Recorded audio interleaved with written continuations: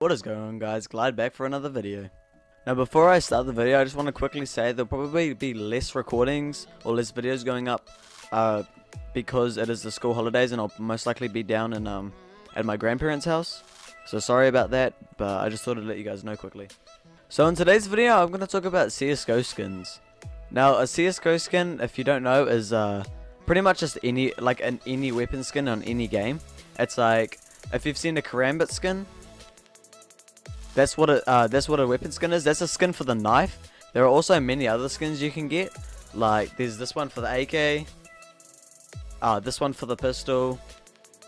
Just many others like and that's what CS:GO. I'm pretty sure that's how CS:GO makes most of its money, is from the selling of skins. Because that Karambit I showed you before, don't quote me on it, but I'm I'm pretty sure that it sells for around $900 NZ, 900 IRL dollars. Now, do you know how much I could do for my computer to make my recording better with $900? I could like rebuild a brand new computer because this one only cost me $700. It's crazy. And like there's there's skins for like a thousand dollars, and uh, it's just I just find it crazy. Like why would you spend a thousand dollars for something in the game? Like 20 or 30 cents I can understand because uh, that's what my friend Ben paid for the skins he got me. He paid about 20 cents for one of the ones he got me. Like, that's understandable, it's only about 20 cents, but a thousand dollars? That's crazy. I could like redo my whole room with that. I will admit they look really sick, and if people like, people see them in games, they always compliment you on them, and they're like ask if you can buy them it or something. I, I've known from experience, like the other day I was playing with some guy, and uh, another guy had a special skin AWP, I think it's a hyper beast, I think that's the AWP skin. And he had the, and he's like, can you please buy it off for me because I want to use your skin? It was, uh, it was really funny.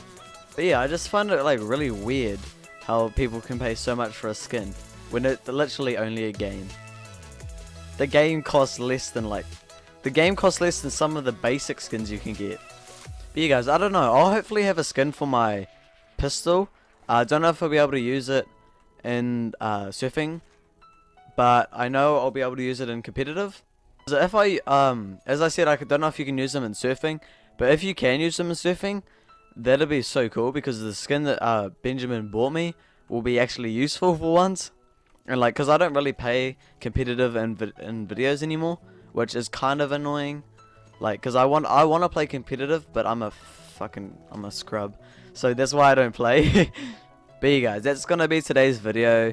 Uh, if you enjoyed, please leave a like rating. If we could get two likes on the video, that'd be so cool. But uh, yeah, it's been your boy Glyde. Uh, have a great day and peace.